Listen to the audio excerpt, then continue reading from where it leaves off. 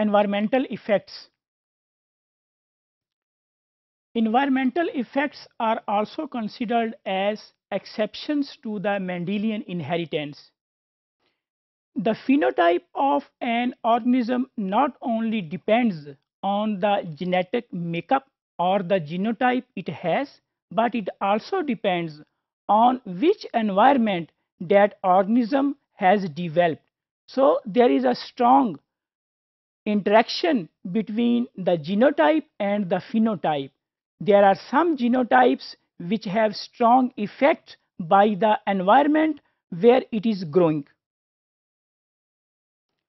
Although scientists agree that there is a strong relationship between the genotype and the phenotype, but there is a debate and controversy that which of them has much role in the expression of the phenotype, whether the genotype has more effect for the expression of a phenotype or there is a strong involvement of the environment. Although there are some diseases which are purely genetic where there is a no role of the environment for their expression or for their incidence, but there is there are some other diseases in which both genetic makeup or genes as well as environment they both have the role in the or, or the involvement uh, of the environment as well as gene for incidence of those diseases.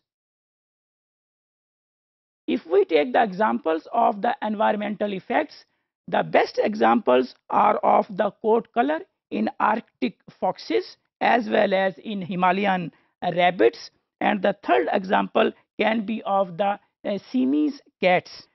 Here we can see that how the environment affects the color of the Arctic fox.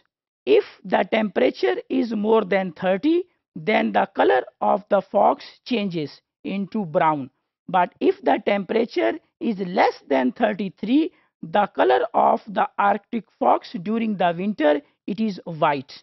So there is a strong impact of the environment uh, over the color of the fox fur.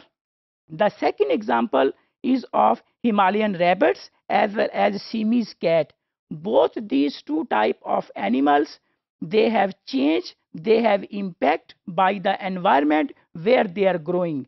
Due to the environment effect, their fur can be changed into brown or black and if the environment suits, then their fur comes into the original shape that is white.